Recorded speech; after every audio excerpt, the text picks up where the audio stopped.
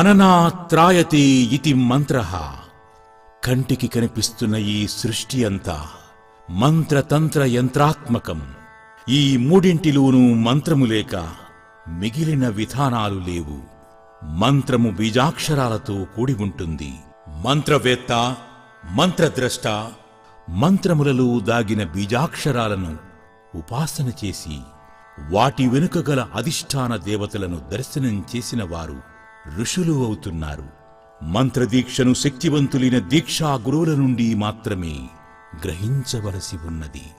ఈ నేపథ్యంలో ఆందోళనతో నిండిన ఈ ప్రపంచానికి శాంతిని కలిగించే విధానంలో మంత్రమూర్తులైన గురుస్వరూపాల ముఖత మంత్రోచ్చాటన దాని విధి విధానాలను ప్రామాణికంగా శాస్త్రబద్ధంగా స్వామీజీల ద్వారా గురువుల ద్వారా మంత్ర విశిష్టతను ఆ మంత్ర అధిష్టాన దేవత గురించి విపులంగా విశ్లేషణాత్మకంగా వివరించే కార్యక్రమమే మంత్ర మహిమ.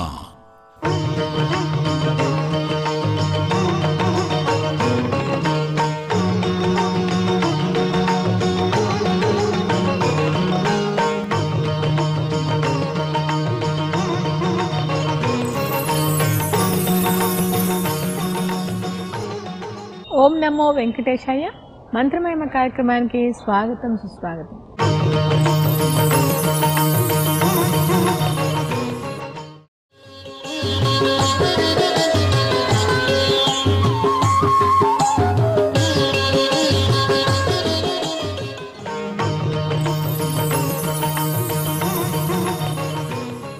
మనకు పురుష సూక్తాన్ని ప్రధానంగా తీసుకుంటే సమయాన్ని దృష్టిలో పెట్టుకొని యజ్ఞేన యజ్ఞమయజంత దేవాహ తాని ధర్మాని ప్రథమాన్యాసన్ అని మనకు చెప్పబడుతుంది. యజ్ఞ భాగాలు హవిస్సులన్నీ ఏం చేయాలి అంటే ప్రతి దేవతలకు వాళ్ళకి ఏం ఆకలి దప్పికలు మనకు కూడా ఆకలి దప్పికలు ఇవన్నీ కూడాను ప్రధానమైనటువంటివి కావు. కానీ సంసారంలో ముఖ్యమైనటువంటి మనం సాధనతో ఈ ఆకలి దప్పికలను కూడా జయించగలమని చెప్పి పురాణాది ఉపనిషత్ ధర్మాలు చెప్తూ ఉన్నాయి.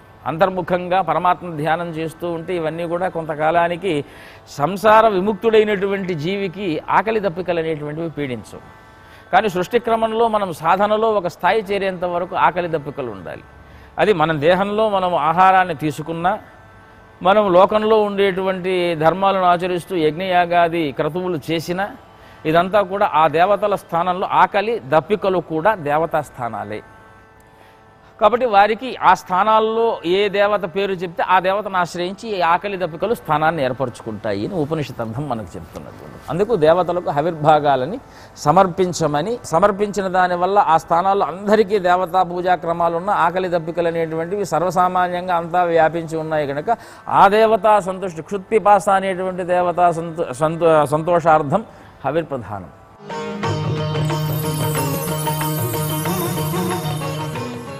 మంత్రమహిమ కార్యక్రమంలో మనం ఉపనిషత్ వాహిని అనే క్రమంలో భాగంగా ఈరోజు ఐతరేయ ఉపనిషత్తు గురించి శ్రీ శ్రీ శ్రీ పుష్పగిరి పీఠాధిపతులు విద్యాశంకర భారతీ స్వామి గారిని అడిగి తెలుసుకుందాం. నమస్కారం స్వామి గారు. మా నారాయణ నారాయణ. స్వామి చంద్రుడు మనస్సు అని సూర్యుడు ప్రాణం అని అగ్ని అని ఇవన్నీ ఎందుకు చెప్పారు గురుగారు? ఎందుకు ఆ విధంగా మనల్ని పోల్చాల్సి వచ్చింది? ప్రథమ మంత్రంలోనే ప్రమాణం చూపిస్తున్నటువంటిది ఇమాన్ లోకాన్ అసురుజత లోకాలను సృష్టించారు అని. ఆ లోకాలకు లోకపాలాన్న అసురుజత సఈక్షతే లోకపాలాన్ అసురుజత అసృజామితి సృష్టిస్తాము అని అనుకున్నారు. లోకపాలకులందరినీ సృష్టి లోకపాలకులు ఎవరు? అంటే ముఖాద్వాగ్వాచో అగ్నిర్నాసికే నిరభిధ్యేతం నాసికాభ్యాం ప్రాణ ప్రాణాద్వాయు ప్రాణాద్వాయు అక్షిణీ నిరభిద్యేతమక్షిభ్యాం చక్షు చక్షుశ్చ ఆదిత్య కర్ణో నిరభిద్యేతాంగరణాభ్యాం శ్రోత్రం శ్రోత్రదిశ త్వం నిరభిద్యత త్వచో లోమాని లోమభ్య ఓషధి వనస్పతయో హృదయం నిరభిద్యత హృదయాన్మనో మనసశ్చంద్రమా నాభి నాభిర్నిరభిద్యత నాభ్య అపానో అపానాన్ మృత్యు శిష్ణం నిరభిద్యత శిష్ణాద్రేతో రేతస ఆపహ లోకపాలకులు వీళ్ళు మన దేహాన్ని చూడండి. మన దేహాన్ని చూడండి మంత్రార్థాన్ని మనం చూస్తే ఐతరేయ ఉపనిషత్తులో విరాట్ పురుషుడు అంటే సమిష్టి రూపం. ఆ విరాట్ పురుషుడు యొక్క రూపంలో నుంచి విరాట్ పురుషుడు అంటే సముద్రాన్ని ఈ అంభో మరీచిహి అనేటువంటి శబ్దం ద్వారా ఆ అంబ శబ్దం చేత పిలువబడేటువంటి మహార్ణవంలో అంశ ఆ ఒక పిండాన్ని బయట తీస్తే ముఖం వచ్చింది. ఆ ముఖంలో నుంచి పరమాత్మ ఎవరిని సృష్టించాడు? ముఖం నిరభిజ్యత యదాండం ముఖాద్వాగ్వాచో ముఖం వచ్చింది. ఆ ముఖం నుంచి ముఖాద్ వాగ్వాచో అగ్నిర్నాసికి ముఖాద్ వాగ్వాచో అగ్ని ముఖం నుంచి వాక్కు ముందు పుట్టింది. అగ్ని పుట్టలేదమ్మా. ముఖాద్ వాక్ వాక్కు. అగ్ని వాక్కు నుంచి. అగ్ని పుట్టింది. నాసికే నిరభిద్యతం నిరభిధ్యేతం నాసిక నుంచి నాసికాభ్యాం ప్రాణం పుట్టింది. వాయువు పుట్టింది. ప్రాణ అంటే వాయువు వేరు మళ్ళీ ప్రాణం ప్రాణవాయువు. వాయువులు సర్వవ్యాపకమైనటువంటి ప్రాణశక్తి. కానీ ప్రాణము అనేటువంటిది ఒకటే. ఆ ప్రాణం అనేటువంటి శక్తి మీరు మనం ఎలా చూసుకోవచ్చు అంటే అన్- అన్నిటికీ మూలమైనటువంటి మనోశ మనోమయమైనటువంటి శక్తిగా పరివర్తన కలిగినటువంటి శక్తి వాక్కు దగ్గరకు వచ్చేటప్పటికి ఆ ప్రాణమే వాక్కుగా వస్తుంది. చూపు దగ్గర పోయేటప్పటికి ఆ చూపు ఆ ప్రాణమే దృష్టి శక్తిగా మారుతుంది. ముఖం దగ్గరకు వచ్చేటప్పటికి ఆ ప్రాణమే వాయువు. అందుకే ప్రాణాత్ పంచమీ విభక్తిలో ప్రాణము నుండి వాయువు. ప్రాణాత్ ప్రాణాద్ వాయురజాయత మాభ్య ఆసీద్ అంతరిక్షం. కాబట్టి ఏ విరాట్ పురుషుడైతే పురుష సూక్తం మనకు వర్ణిస్తూ ఉందో ఆ విరాట్ పురుషుల్లో ఏమున్నాయి అనేటువంటి దాన్ని మనకు ప్రత్యక్షంగా ఉపనిషత్తులో చూపిస్తున్నది. ప్రాణాత్ ప్రాణము ప్రాణము అంటే ముఖ్యమైనటువంటి పరమాత్మ శక్తి ప్రకృష్టమైనటువంటి పరమాత్మ శక్తి. భేదం లేదు. ప్రాణానికి పరమాత్మకు భేదం లేదు. అది ఉండటం వల్ల ఈ జీవి యాత్ర నడిపిస్తుంది. ఆ ప్రాణం నుంచి ఇవన్నీ పుట్టచ్చు. కాకపోతే పరమాత్మ యొక్క ప్రత్యక్షమైనటువంటి శక్తి మనస్సు అయితే హృదయంలో ఉండేటువంటి మనస్సు అయితే ఆ మనస్సుకు ప్రజ్ఞానం పరమాత్మ స్వరూపం అయితే ఈ జీవిత యాత్ర నడపడానికి పరోక్షమైనటువంటి రూపం ప్రాణం. కాబట్టి నాసికాభ్యాం ప్రాణ ముక్కుల నుంచి ప్రాణాలు ప్రాణాద్ వాయు ఇక్కడ కూడా అదే చెప్పారు. ప్రాణం నుంచి వాయువు ఆ వాయువులు మనకు ఆధారభూతంగా ఉన్నాయి. జలంలో ఉన్నటువంటి చేపలకు మనం పీల్చేటువంటి వాయువుతో సంబంధం లేదు. వాటి వాయువు వేరు.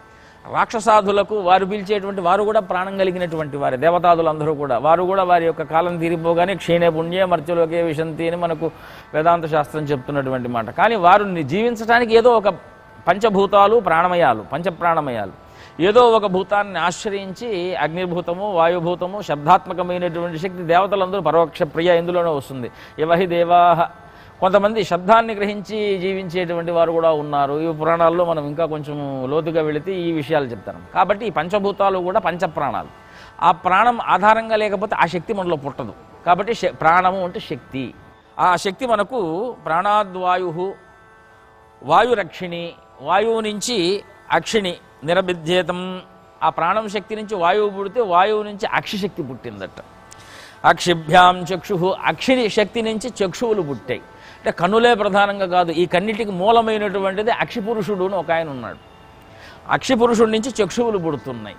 కనుక ఆ, చక్షుష ఆదిత్య అక్షిపురుషుడి నుంచి చక్షువులు పుడితే చక్షువు నుంచి ఆదిత్యుడు పుట్టాడు. ఆదిత్య కర్ణవు ఆదిత్యుడి నుంచి ఆదిత్య కర్ణవు నిరభిధ్యేతాం కర్ణ ఆ, కర్ణములు పుట్టాయి. కర్ణముల నుంచి కర్ణాభ్యాం శ్రోత్రం. కర్ణము నుంచి శ్రోత్రేంద్రియములు పుట్టాయమ్మ. శ్రోత్ర దిశ శ్రోత్రముల నుంచి దిక్కులు పుట్టాయి. దిశస్త్వం నిరవిధ్యత దిక్కుల నుంచి త్వంగ్ ఇప్పుడు మనం దిగంబరము అంట. అంబరము అంటే వస్త్రములు. దిక్కులు కూడా దిగంబరములు దిక్కులే అంబరములుగా కలిగినప్పుడు అంటే కనిపించడానికి భౌతిక వస్త్రాలు లేకపోయినా ఆయన్ని ఆచ్ఛాదిస్తున్నటువంటి దిక్కులు అని ఒక మనం ఉపమానం చెప్తూ ఉంటాం. యక్షస్వరూపాయ జటాధరాయ దివ్యాయ దేహాయ దిగంబరాయ అని అంటే ఆయనకు వస్త్రాలు లేవని కాదు కానివ్వండి దిక్కులు వస్త్ర పరమాత్మ వస్త్రంగా భావించాలి మనము అట్లా శ్రోత్రేంద్రియం నుంచి దిక్కులు పుట్టాయి. త్వచో లోమాని త్వచం నుంచి లోమాలు. లోమాములు అంటే కేశ స- సదృశాయమానమైనటువంటి పదార్థములు. మనం ఈ మానవమైనటువంటి పదార్థంతో పోలగొరుచు కానివ్వండి లోమాలు అంటే ఓషధి వనస్పతులు అని దానికి మూలమైనటువంటి బీజాలుగా మనం తెలుసుకోవాలి. లోమాని లోమభ్య ఓషధి వనస్పతయో వనస్పతయ లోమాల నుంచి ఓషధి వనస్పతులు పుట్టాయమ్మ. హృదయం నిరభిద్యత హృదయం పుట్టి ఆ వన విరాట్ పురుషుడి యొక్క హృదయాన్ని ఆ అంబస్సులో నుంచి పరమాత్మ సృష్టి చేస్తే హృదయాన్ మనః అన్నారు చంద్రుడు ఈ మనస్సుకి ఎందుకు కారకుడు చే- సూర్యుడు ఈ చక్షువులకు ఎందుకు కారకుడు అంటే విరాట్ పురుషుడి రూపం అది ఆ రూపంలో ఉన్నటువంటి శక్తి అది ఆ శక్తి నుంచి పుట్టిన అంగము ఆ అంగానికి అది దేవత. అంగాన్ నిర్ణేమ దేవత ఆహ అని చెప్పి మనకు అరుణం చెప్తోందమ్మా. కనుక హృదయాన్ మనః మనసశ్చంద్రమ ఆ హృదయంలో నుంచి హృదయానికి శక్తిగా మనస్సు ఆ శక్తికి అధిష్టాన దేవతగా చంద్రమ.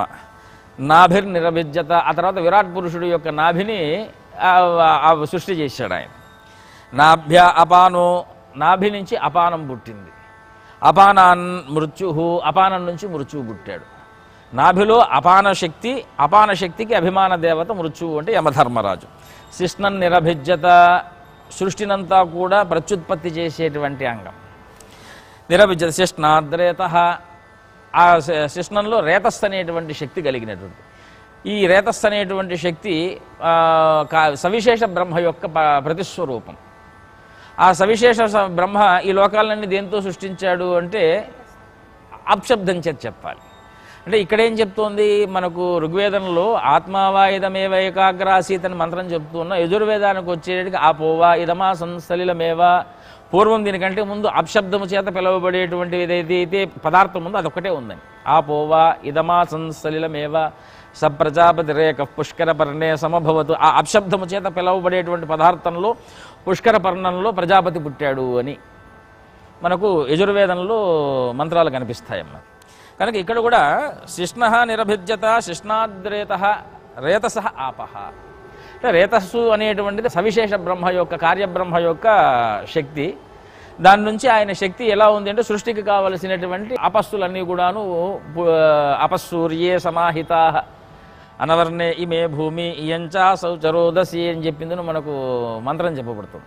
కాబట్టి సూర్యాదులు ఇక మిగిలినటువంటివన్నీ కూడాను ఈ అప్శబ్దము చేతనే పిలవబడుతున్నాయి కనుక అందుకే చూడండి పైన అంబస్ అనేటువంటి పేరు పేరుతో భూమి కంటే కింద కూడా అప్శబ్దము చేత పిలువబడేటువంటిది. అంటే అప్శబ్దము చేత మోయబడినటువంటి మధ్య అండము అండములో ఉన్నటువంటి ఇవన్నీ కూడాను పిండాలు. ఈ శంకరుల వారు విష్ణు పురాణంలో ఒక శ్లోకం చెప్తూ నారాయణ పరో వ్యక్తాది ఇది చాలా అసలు భగవద్గీతకు ఆరంభ శ్లోకంగా ప్రార్థనా శ్లోకంగా పెట్టి నారాయణ పరో వ్యక్తాత్ అండం అవ్యక్త సంభవం అండస్యాంతవస్తిమే లోకాహ సప్తద్వీపాచమే. అండము లోపల ఉన్నటువంటి ఈ సప్తద్వీపాలతో కూడుకున్నటువంటి మేధిని ఇత్యాది ప్ర జగత్తంతా చ అనేటువంటి శబ్దము చేత యథా దాతాపూర్వం యథా అకల్పయత్ దివంచ పృథివీంచ అంతరిక్షమ దోసువహ అని వేదమంత్రం.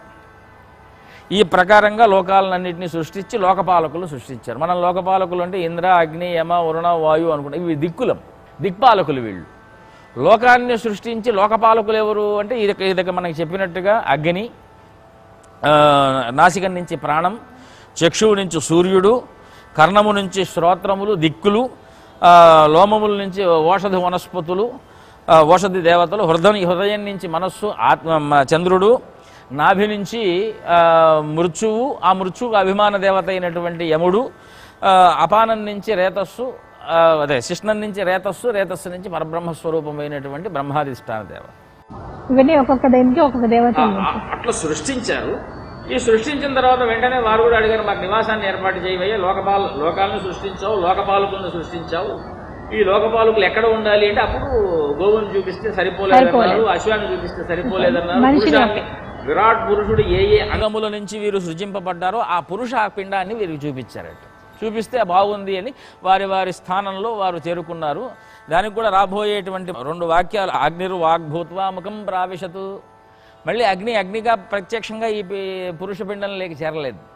పురుషాకారం లేకి. అగ్నిరు వాగ్భూత్వాముఖం ప్రావిశతు. వాయు ప్రాణో భూత్వా నాసికే ప్రావిశతు. వాయువు ప్రాణంగా మారింది. ప్రాణం భూత్వ నాసికే ప్రావిశత్. కాబట్టి మనం పీల్చేటువంటి వాయువు ముక్కు దగ్గరికి వెళ్ళినా అది మళ్ళీ ప్రాణరూపంలోకి మారాలి.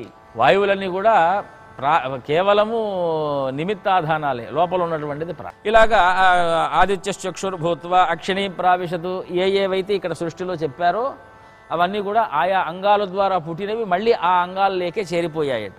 మిగిలినవి ఏమిటి అంటే తమశనాయా పిపాసే అభృతాం అవాభ్యాం అభిప్రజానీహీతితే అబ్రవీదేతాస్వేన వాం దేవతా స్వాభజామ్యేతాసు భాగిన్యో కరోమీతి. ఇక్కడ మంత్రార్థం ఏం చెప్తుందంటే మిగిలిపోయినవి రెండు. తమశనాయా పిపాసే అభృతాం అవాభ్యాం అభిప్రజానీహీతి తే అబ్రవీత్ ఏతాస్వేవ చ దేవతాయై హవిర్గృహ్యతే భాగిన్యావేవస్యాం అశనాయా పిపాసే భవత. పరమాత్మ ఏం చెప్పాడు? మీకు ప్రత్యేకమైనటువంటి నిలువలు అంటే స్థానాల్ని మేము ఏర్పాటు చేయలేము. ఎందుకంటే అవన్నీ కూడా వాటి వాటి అంగముల నుంచి పుట్టాయి. కానీ నువ్వు మీరు సర్వవ్యాపకులు. ఆకలి దప్పి అనేటువంటివి రూపము లేనటువంటివి శక్తి కలిగినటువంటి అంటే శక్తి స్వరూపాలమ్మ.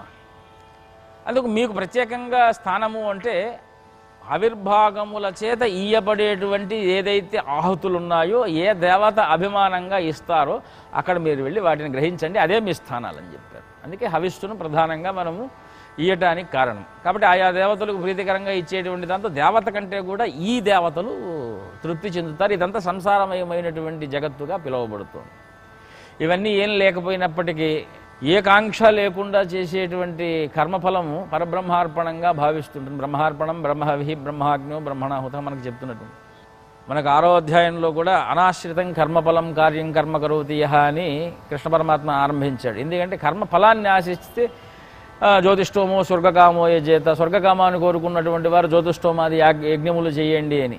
అది ఏది లేకుండా పరమాత్మను మనము ప్రత్యక్షంగా ధ్యానం చేస్తూ ఉంటే ఎవరైతే ఇదంతా కారణభూతుడైనటువంటి మళ్ళీ సవిశేష బ్రహ్మకు నిర్విశేష బ్రహ్మకు తేడా లేదు. కాకపోతే ఈయన సుఖస్వరూపము ఆయన ఆనంద స్వరూపము ఆయన సాక్షిభూతుడు ఈయన కర్మరూపం లోపల ఇప్పుడు మనం బ్రహ్మను ధ్యానం చేసినప్పుడు ఈ యజ్ఞాలు అంటే బయట చేస్తే మన హోమాలు యజ్ఞాలు చేయాల్సిన అవసరం లేదా గురుగారు? కర్మ చేయాలమ్మా. కాకపోతే ఫలాపేక్షరహితంగా చేయాలి. అందుకే లోకంలో కర్మ ద్వారా జ్ఞానం వస్తుంది. కర్మ చేయకపోతే జ్ఞానం వచ్చేటువంటి అవకాశం లేదు. అంటే ఇప్పుడు ఈ యజ్ఞాలు ఈ అవిస్లు ఇవ్వకపోతే ఈ దేవతలందరికీ మరి ఎలా ఆహారం వస్తుంది? ఇది చాలా విస్తీర్ణమైనటువంటి వైదిక భాగంలోకి వెళ్ళిపోతుంది. కాకపోతే చిన్న మాటగా చెప్పాలి అంటే దేవతలకు ఈ ఆహారానికి హవిర్భాగాలకు సంబంధం లేదమ్మా. వాళ్ళు స్వయం ప్రతిపత్తి కలిగినటువంటి దేవతలు. ఎవరు ఇప్పుడు చెప్పినట్టు అగ్నిర్ వాయు చ- సూర్య చంద్రమ చక్షువుకు సంబంధించినటువంటి రేతస్సు ప్రజాపతి యముడు వీళ్ళందరూ కూడాను. వారు లోక పాలకులు. పాలకులైనా ఇంట్లో యజమాని ఉన్నప్పటికీ కూడా మిగిలినటువంటి వారి యొక్క ఆకలి తీర్చడం ప్రధా యజమాని యొక్క ప్రధాన కర్తవ్యంగా ఒక దేశానికైనా దేహానికైనా గేహానికైనా. గేహము ఇల్లు దేహము దేహము దేశం ఒక ముఖ్యమైనటువంటి మంత్రిగా ఉన్నటువంటి ఆయన మిగిలిన మంత్రులను ఏర్పాటు చేయాలి. వాళ్ళందరూ లోకాన్ని క్షేమంగా ఉండి కర్మ చేయిస్తూ మిగిలిన వారికి ఎటువంటి దారిద్ర్యాది బాధలు పీడించకుండా చూసు అదే సమస్థాయిలో అందరికీ విజ్ఞానాన్ని పెంచే ప్రయత్నం చేయాలి. ధార్మికంగా ఉండేటువంటి స్థితిని కల్పించాలి. ఇక్కడ కూడా దేవతలందరూ కూడాను పరమాత్మ యొక్క జ్ఞానస్వరూపాలు. కాకపోతే సంసారంలో ఉన్నారు. సంసారంలో పరమాత్మ అన్నిటితో పాటు విరాట్ పురుషుడితో ముందు ప్రథమంగా రెండే సృష్టి చేశారని మనకు వేదాదులు చెప్తున్నాయి. ఉపనిషత్తులు కూడా. ఆకలి దప్పి విరాట్ పురుషుడు. ఆ తర్వాత లోకపాలకులు సృజించారు. ఈ లోకపాలకులు వారి వారి స్థానాల్లోకి వెళ్ళిన తర్వాత ఈ రెండింటిని అట్లా వదిలేస్తే కష్టం కదండి. ఇంకోటి కూడా చెప్పారు ఏమిటంటే అంత విరాట్ పురుషుడికి అన్నం కల్పించటం చాలా కష్టం. లౌకికంగా మన వాక్యం. అందుకు మొత్తము కాకుండా ఉపసంసారాలుగా విభజించారు. అంటే ఒక పది మంది సంతానం ఉన్నారమ్మా. ఒక ఇంట్లో అందరినీ పోషించడం ఒక ఎత్తు అయితే వారి వారి సంసారాన్ని వివాహం చేసి వారికి పెట్టి వారి పోషణ భారాన్ని కల్పిస్తే ఈ భారం తగ్గుతుంది కదా. అలాగా ఈ క్షుత్పిపాసులు విరాట్ పురుషుడిని ఆవరించకుండా ఆయా దేవతలకు భాగం చేసి ఆ భాగమైనటువంటి దేవతలకు ఇచ్చేటువంటి ఆవిర్భాగముల ద్వారా ఇవి తృప్తి పొందేట్టుగా. అందుకే మనం అన్నం లేకపోతే ఉండలేం. ఎందుకంటే పరమాత్మే చెప్పాడు అహం వైశ్వానరో భూత్వా ప్రాణినాన్ దేహమాశ్రిత అని. కాబట్టి మనం తినేటువంటి ఆహారం శుద్ధత కావాలి. ఎందుకంటే ఉపనిషత్తు చెప్తూ ఉన్న ఉపనిషత్తు బయటకు వెళ్ళి రెండు మాటలు మనము టీవీకి చెప్పవలసిన మాట. ఆహార శుద్ధో సత్వశుద్ధి. తినే ఆహారము శరీరంలో ఇంద్రియములుగా మారుతాయి. అదే మనకు తైత్రీయోపనిషత్తులు అన్నం ప్రాణం చక్షుశ్రోత్రం మనోవాచమితి వాక్కుగా మారుతున్నటువంటి శక్తి అన్నమే. ప్రాణంగా మారుతున్నటువంటి శక్తి అన్నమే. అన్నం ప్రాణం చక్షురింద్రియం తేజస్సుగా మారి లోపల బయట ఉన్నటువంటి లోపల ఉన్నటువంటి బయట ఉన్నటువంటి పదార్థ విజ్ఞానాన్ని కలగజేస్తున్నటువంటిది అన్నమే. అన్నం ప్రాణం చక్షుశ్రోత్రం దిశలుగా వెళ్ళి అక్కడ ఉన్నటువంటి విజ్ఞానాన్ని వార్తగా తీసుకొని వచ్చి మనకు వినిపిస్తున్నటువంటి వినికిడి శక్తి అన్నమే. చక్షుశ్రోత్రం మనహ హృదయంలోకి వెళ్ళి ఆ హృదయంలో మనస్సుగా మారి ప్రతి దాన్ని ఆ జ్ఞానాన్ని సముపార్జించుకొని మనకు విజ్ఞానానిగా అందజేస్తున్నటువంటి పదార్థం అన్నమే. ఈ అన్నము ఎక్కువగా శరీరంలో మృచువుగా మారుతున్నటువంటి శక్తి కూడా అన్నమే. ఎందుకంటే మృచువుగా ఎందుకు మారాలి? మృచువు లేకపోతే ఏమి? శరీరంలో వ్యర్థాన్ని బయట తీసేదాన్ని మృత్యు అన్నాం. ఈ- శరీరమే వ్యర్థమైతే దీన్ని తీసి ఇంకొక దేహానికి వెళ్ళేటువంటి పదార్థాన్ని కలగజేసేటువంటిది అన్నం. మృత్యువం ఎందుకంటే కొత్తదనానికి మృత్యు ఆరంభం. మృత్యుర్ మృత్యుర్మ మృత్యుర్మా మారయాదితి అది మృత్యువే శరీరాన్ని ఇంక ఇది పనికిరాదు అన్నప్పుడు దీన్ని తీయవలసిందే ఆ పనే చేస్తుంది. వేదమంత్రం ఇంకో మా మాట ఏం చెప్తుంది అంటే మృత్వా పునర్మృత్యుమాపద్యంతే దానికి సంబంధించిన వాక్యం మనకు పైన రాబోతోంది. మనం జన్మించాము అని అనుకుంటున్నాం కానీ జన్మయే మృత్యు. ఎందుకంటే మృత్వా పునర్మృత్యుమాపద్యంతే మనకు అరుణం చెప్తున్నటువంటి మాట నాలుగు మృత్యువులు ఉన్నాయి. సూర్యుడు ఒక మృత్యువు వాయువు ఒక మృత్యువు అగ్ని ఒక మృత్యువు పవమానుడు ఒక మృత్యువు అని. అమమాహు పరం మృత్యుం పవమానంత మధ్యమం. అగ్నిరేవావమో మృత్యు చంద్రమా చతురుచ్యతే చంద్రుడు వీళ్ళేం చేస్తున్నారు? ఈ దేహంలో ఉన్నటువంటి దేహాన్ని అంటే మనం భౌతికంగా చనిపోతామంటానికి ఈ నలుగురు కారణం. మనస్సు ద్వారా రోజులు కాలం ద్వారా శరీరంలో అత్య అతిగా తినటము ఆ ఆకలి ద్వారా ఈ దేహాన్ని తీసుకొని ఈ దేహాన్ని వృద్ధత్వానికి వార్ధక్యానికి కారణమైనటువంటి ఆయన అగ్ని. శరీరాన్ని నిలపగలిగినటువంటి శక్తి అమృతము వాయువే మృత్యువుగా మారేటువంటి స్వరూపము ఆయన కాబట్టి ఎక్కువగా వేగంగా గాలి పీల్చుకునేందుకు ఒక్కొక్క దానికి ఒక్కొక్క విధానమైనటువంటి యోగాలు పుట్టాయి. మనకు యోగశాస్త్రంలో చూస్తే. ఆహారాన్ని ప్రత్యాహారమని ప్రాణాయామానికి ప్రాణాయామమని చంద్రుడికి యమనియమాసనాలని సూర్యుడికి వచ్చేటప్పటికి ధ్యానధారణాది సమాధ్యష్టాంగములు ఈ నాలుగింటికి రెండేసి పుడితే ఎనిమిదైనాయి. ఆ అష్టాంగాల ద్వారా మీరు జ్ఞానాన్ని సంపాదించుకుని సమాధి స్థితిలోకి ఎప్పుడైతే వెళతారో ఆ మృత్యు అనేటువంటిది మిమ్మల్ని అమృతంగా మారి సోమృతత్వం చ గచ్చతి అమృతత్వాన్ని పొందుతారట. దీనికంతా మూలం విద్య. దీని మన మృత్యువాత పట్టడానికి అవిద్య. ఈశావాస్యం చెప్తున్నటువంటి. విద్యాంచ అవిద్యాంచ ఎస్తద్వేదోభయగుంస అవిద్యయా మృతం తీర్త్వ విద్యయా అమృతమశ్నుతే. అవిద్య అంటే వేదాదులన్నీ కూడాను జ్ఞానమయాలే కానీ అవిద్యల కింద లెక్క వస్తుంది. అవిద్య అంటే నిన్ను గెలిపించేవి కావు. అంటే మృత్యు బారి పడేసేవే తప్ప దాని అవిద్యల యొక్క సాధనం ద్వారా విద్యను పొంది అంటే మూల ప్రకృతిని పొంది అమృతత్వాన్ని పొందే శక్తి విద్యలు ఇస్తాయి. చాలా ధన్యవాదాలు గురువు గారు చాలా బాగా ఇవన్నీ విపులీకరించి ఉపనిషత్ అంతా చాలా బాగా చెప్పారు స్వామి. ఇది ఈనాటి మంత్రమేమ కార్యక్రమం. ఓం నమో వెంకటేశాయ. మనిషి ద్విజత్వాలు వేరు. ఇక్కడ చెప్తున్నటువంటిది ఇతర శబ్దము చేత ఉపనిషత్తులో ఏదైతే ఐతరేయముగా పిలువబడుతున్నదో ఇతర సంబంధమైంది. మనకు జ్ఞానాన్ని ప్రసాదించేటువంటిది జ్ఞానభాగంగా ఉన్నది. దానికి మూడు జన్మలు ఉన్నాయి